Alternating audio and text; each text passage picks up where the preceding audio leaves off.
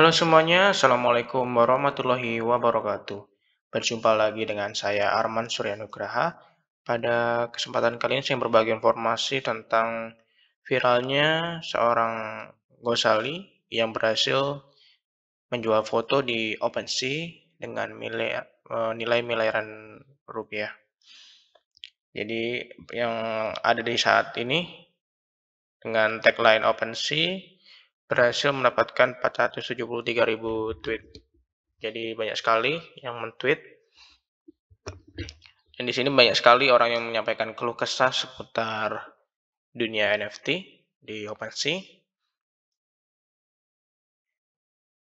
Ada juga yang men-tweet di sini banyaknya NFT kotor di OpenSea akan menjadi sebuah tantangan tersendiri untuk skalabilitas NFT di blockchain tersebut. Apakah semakin banyak adopsi, malah makin lemot, atau bisa wus-wus.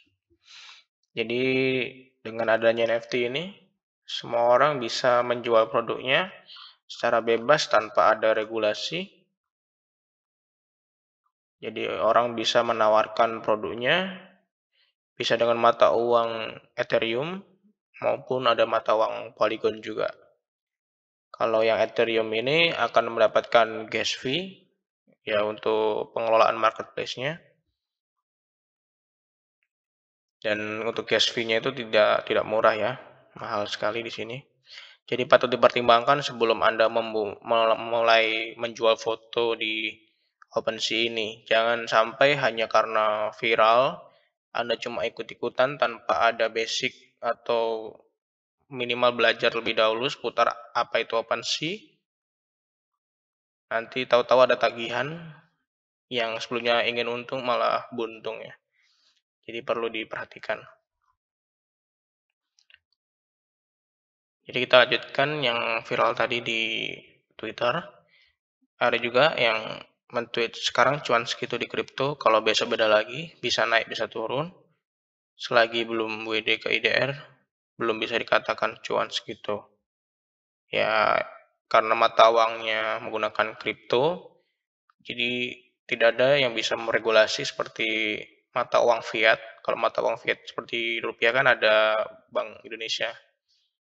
Jadi bisa agak stabil naik turunnya, tidak seperti kripto yang saat ini mungkin bisa satu koin Ethereum sekitar 50 jutaan bisa-bisa menjadi 60 juta dalam waktu satu hari.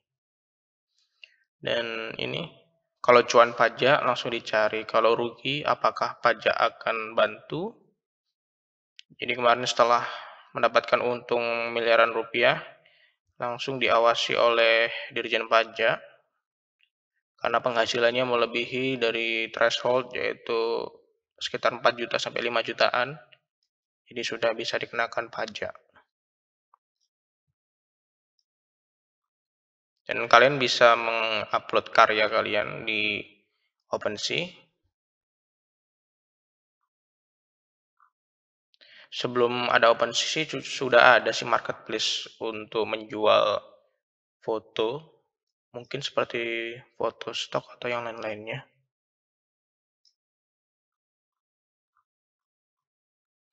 Dan ada banyak sekali sih yang mengeluhkan tentang OpenSea saat ini, karena gambar yang diupload itu terkadang tidak original atau mengambil foto dari internet dan hanya mengandalkan ingin untung secara cepat saja.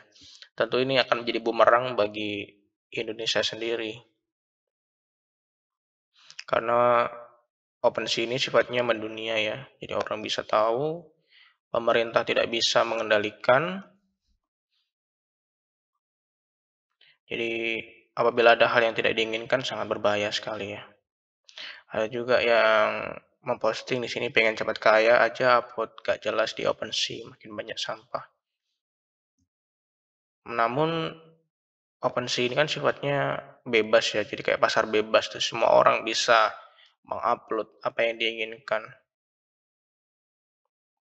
Ada juga yang memposting kalau mau kaya kerja sayangku, bukan malah upload pubnek di OpenSea. Ini yang perlu diawasi juga karena foto-foto tidak bisa dipungkiri untuk foto yang terlarang bisa diupload di OpenSea ini.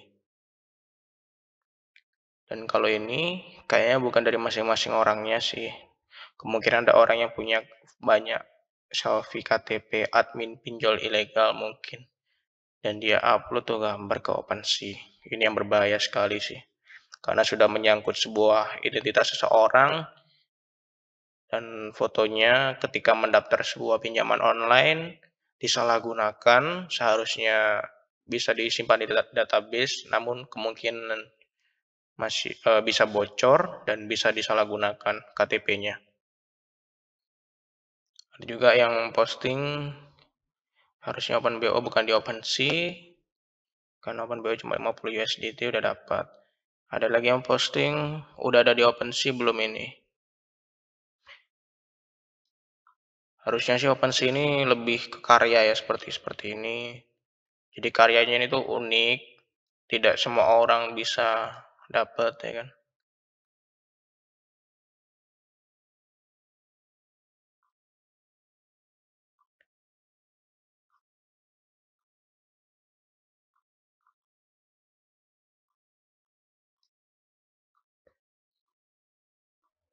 Jadi banyak sekali hal menarik yang ada di OpenSea ini. Fotonya semakin unik. Ada yang memposting lagi tamasya ke pantai. Ada lagi yang posting seperti barang-barang aneh, barang-barang unik, barang-barang antik. Ada juga yang menjual makanan, lemari baju, bahkan ada yang menjual foto bayi di OpenSea. Di sini tertera harga uh, eh, 0,001 Ethereum atau dikurskan ke rupiah saat ini sekitar 50 ribuan. Ada juga yang memposting foto-foto selfie-nya.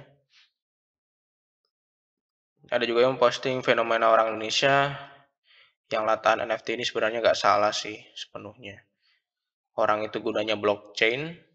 Jadi blockchain ini untuk transaksinya kan di apa ya divalidasi oleh orang lain juga gitu kayak semacam barter gitu. Jadi tidak ada lembaga resmi yang bisa mengendalikan sebuah blockchain. Biar semua bisa ambil bagian, tapi kayaknya agak miskonsepsi saja. Ada yang berpikiran kalau OpenSea itu kayak Tokped dan Shopee. Kalau di Tokopedia dan Shopee kan harus ada barang resminya. Barangnya diberikan, lalu dibayarkan. Kalau di OpenSea ini kan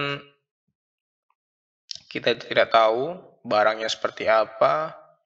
Jadi kayak se uh, eh, seperti membeli barang di uh, seperti membeli barang kucing dalam karung ya. Jadi kita tidak tahu apakah kucing itu bagus atau tidak. Apakah sebanding dengan harganya atau tidak. Dan ada lagi yang posting OpenSea tempat orang jual karya malah jadi kayak sampah gara-gara orang seperti ini. Ini yang membahayakan sih. Ada yang menjual Indonesian Identity Card KTP collection. Jadi foto selfie dari ID card dijual oleh orang-orang yang tidak bertanggung jawab. Ada juga yang seperti ini. Ada juga yang posting apakah ini ulah dari oknum yang selalu menerima selfie KTP dan diupload di OpenSea. Bahaya banget sini orang. Semoga segera diusut siapa pelakunya. Kemungkinan orang yang ada di akun tersebut tidak mengetahui identitas dan dipublikasikan di OpenSea. Ada juga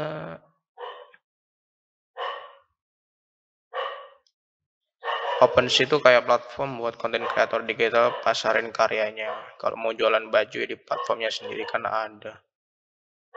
Jadi memang untuk berjualan sesuatu tuh ada tempatnya ya, tidak tidak asal harus memasukkan sebuah produk ya. Dan ada kriteria yang tidak jauh dari orang lain upload.